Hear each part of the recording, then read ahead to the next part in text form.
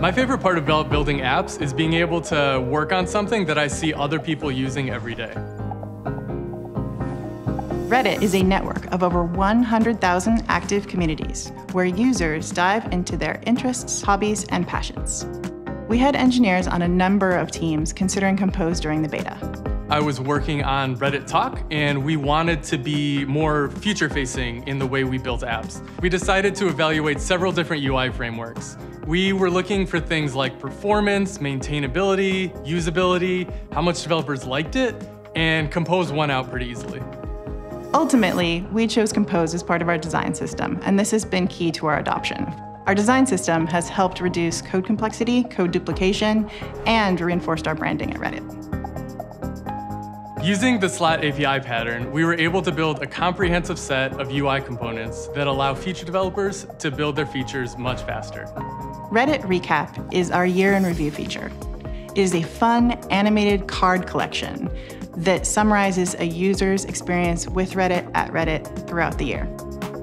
In 2022, we rebuilt the recap feature with Compose and our entire new tech stack. By rewriting in Compose, we were able to achieve feature parity with 44% less code. Even after adding functionality, we still ended up with less code than we did before the rewrite. This resulted in us getting the job done with fewer engineers and in less time. We built a shareable screenshot generator by wrapping all of the Reddit recap content into composables. This allowed us to create social sharing functionality for recap that users loved.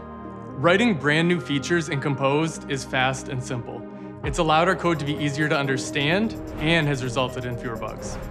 It's hard to pick just one favorite feature of Compose, but if I had to, I think it would be having access to the entire Kotlin type system.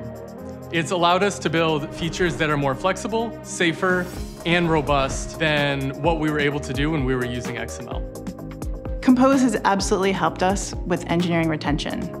In our developer surveys, our engineers tell us that Compose is one of the biggest improvements to our developer experience.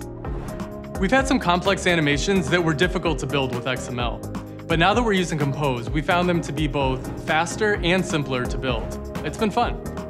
For example, the Reddit recap rotation animation is entirely encapsulated in a single Compose modifier.